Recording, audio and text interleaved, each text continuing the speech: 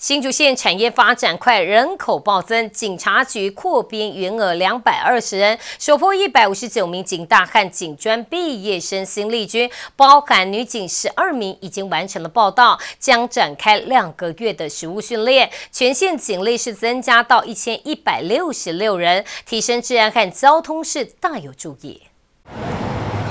拉着行李箱，警大与警专毕业生陆续来到警察局报道。新竹县警力扩编，增添一百五十九名新力军。这次加入的总共有一百五十九位，啊，但是因为有五十五位是要返乡请调的，所以我们实际进入了有一百零四位，其中有十二位女性，好，它占比是百分之七十七点五。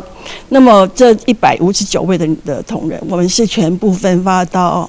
各个分局，还有我们的保安队、交通队，全部都是在外勤，为来乡亲服务。希望提升见警率以后，可以反复阻犯罪的发生。另外，也希望在呃警力加入以后，我们在处理这个交通事故现场，或者是那个交通路口的疏解警力方面，可以更顺畅。今年全国一千一百二十八名警专生通过四等警察特考，其中一百三十六人分发逐县，加上二十一名警大与两名外县市请调，共增加一百五十九名。其中女警有十二名，扣除县内外调五十五人，实际增加一百零四人。依考试分数选填分局，加速熟悉警政工作和治安交通状况。举办之前讲习，也将展开两个月实务训练，再由各分局分派单位任务。分发是行政巡官，所以希望可以进入交通组或是督察组，就是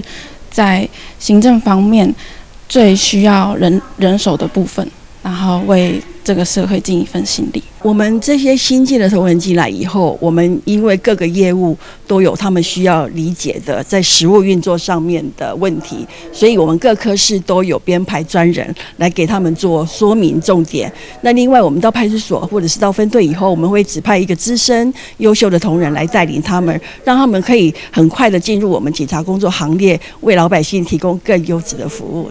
警察局今年扩编员额两百二十人，满编可达一千四百零三人，现增加到一千一百六十六人，是六都外增补最多县市，也是全国二十二县市第二名，大大提升外勤见警率，对治安交通都有很大注意。